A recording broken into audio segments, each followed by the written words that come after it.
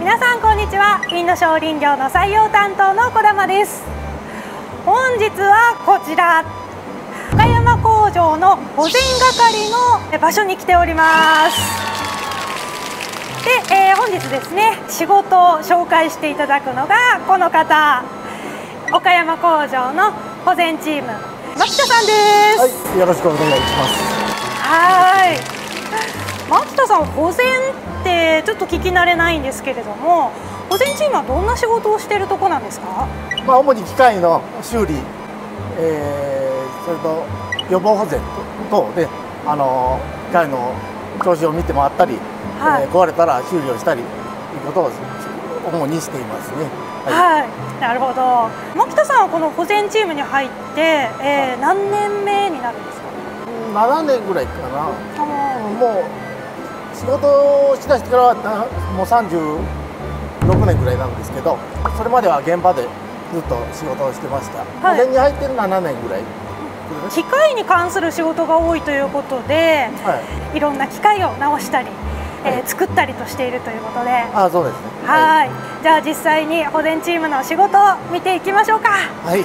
それでは保全チームの仕事様子、えー、見ていきましょう。レッツスタート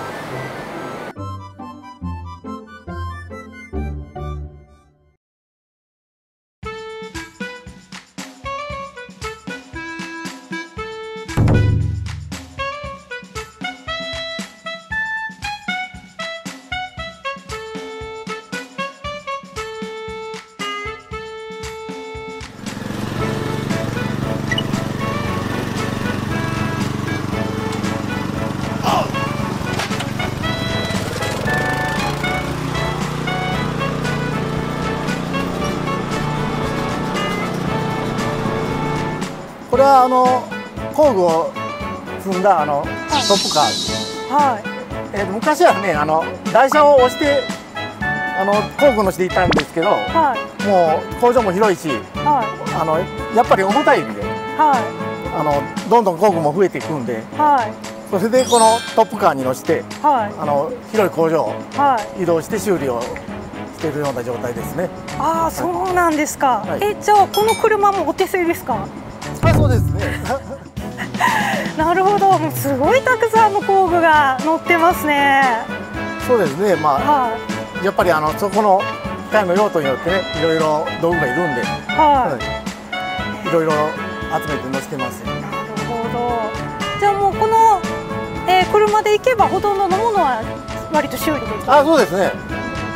あもう一つ溶接はできないんですけど、はい、これを修理するのはこっちで溶接はまた溶接のあのがあります。あこれと対をなす車があるんです、あそうですね、はい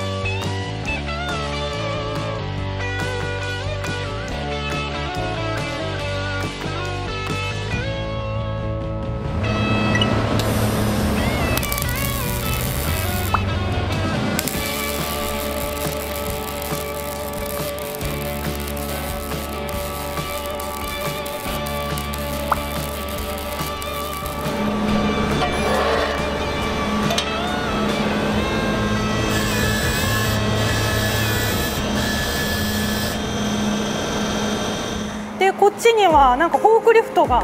あこっちは車両で、はい、あのリフト専門で、はい。えー、修理等をしてますね。あ。の点検と修理。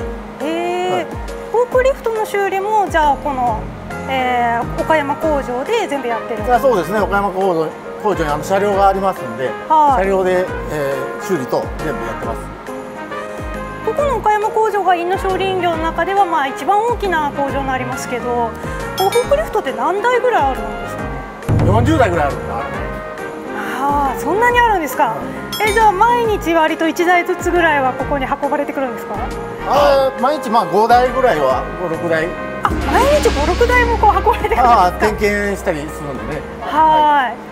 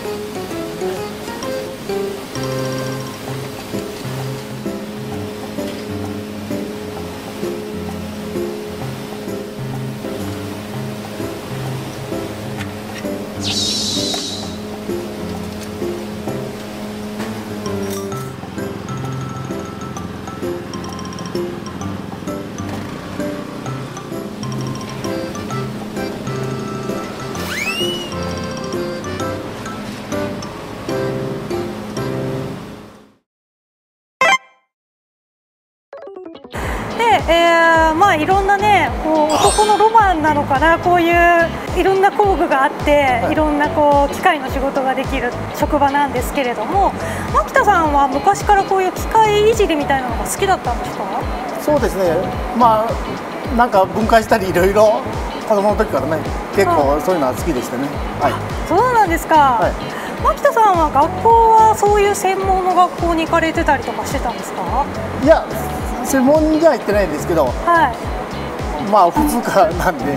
あそうなんですか、はい、じゃあこう機械科とか電子科っていうそういう学科ではなくもう普通の高校の普通科そうですね。普通科です。はい。あじゃあ学校でこうそういう機械環境を学んだわけではなくてではなくて、はい、はい、自分でいろいろ好きで あのいろいろ触ってみたり分解してみたりそういうことが好きなんではいじゃあこの保全の仕事の楽しさってどこにあるんですかね？まあそうですね。やっぱり毎回壊れてるところがもう全然壊れなくなったとか。でみんなにそういうとこがねあの評判になったりするとこがやっぱりね仕事している上で楽しいですね。はい。えー、よく学生さんからですね、はい、なんかこう資格を取っておかないとだめですか？とかっていう質問が来るんですけれどもその辺はどうですか、あまああのうちでちょっと勉強してもらってそれから取り組むのでも十分大丈夫だと思いますので、はい、はい、資格はまあなくても、えー、全然大丈夫です。なるほど、えー、ちなみにここの保全ではどんな資格保持者の人がいるんですか？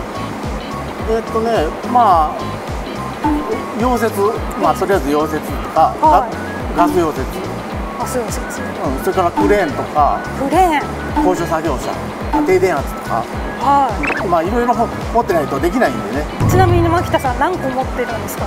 いやちょっとわからんほど持ってる。わからんほど持ってるんですか？今聞いたのはどうやら一部みたいですねえー、いろんな機械の操作とかお仕事内容を見させてもらったんですけれども、はい、こう保全の仕事をする上で気をつけていること気をつけなければならないことって何かありますか？そうですね。まあいろいろ電気のとことか、まあ、やっぱりあの、ね、感電しないようにもう十分電気落ちてるかとか全部見なきゃいけないし、えーと機械修理するときに中に入るときにはもう必ずあの前停止等をしてね入らないとそれと人の動きも見てないとやはりあの何をまた動かされる可能性もあるんでその辺十分注意してねあの修理とするときにはあの気をつけております。なるほど。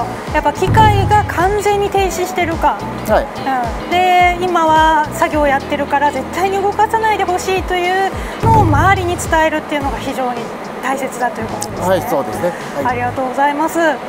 で、えーまあ、このチャンネルはですね就職先としてこういろんな企業を見ている学生さん高校生の方とか専門学生で大学生の子たちも見てるんですけれども、はい、そういう学生の方に向けてですねなんかこうメッセージというか保全作業はまあ結構ねあのやりがいのある仕事なんでね保全の方にあのぜひ来てくれればありがたいなと 思います。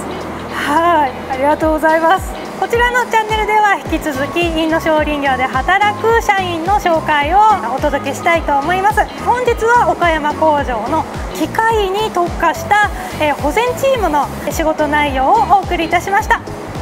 よかったらチャンネル登録と、えー、グッド評価質問ございましたら下のコメント欄の方にコメントを記入お願いいたします。それではまた次の動画でお会いしましょう。せーの。See you!